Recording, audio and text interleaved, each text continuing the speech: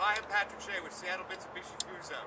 Here we've got a 2006 Chevy W5500. It's a 17,950 pound GVW. Let me show you a little bit more about it. This truck has hydraulic brakes, leaf spring suspension. It's on a 176 inch wheelbase with a 30 gallon diesel fuel tank. This truck has a roll up door and an ICC bumper. There's also room to install a ramp if necessary, or you could put a tuckaway lift gate. This is a 20 foot aluminum body, 85 inches inside height, 96 inches outside width.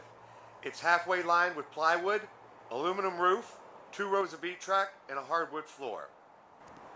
The body also has a curbside door for easy access. It's got a, a step and a grab handle. This truck has an Aisin six-speed automatic transmission with overdrive. It's got a driver bucket seat, a two-seat bench that has a workstation when there's only one passenger. It has AM, FM, CD, AC, cruise control, power locks, power windows, telescopic tilt steering. Let's start it up and see how it sounds. This is an Isuzu 5.2 liter, four cylinder, 190 horsepower turbocharged diesel engine.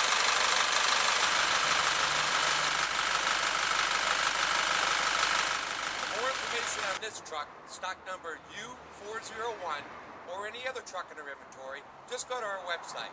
It's at www.seattlemitsubishifuso.com or call me, Patrick Shea, or my colleagues, Barb Oliver or Ron Johnson.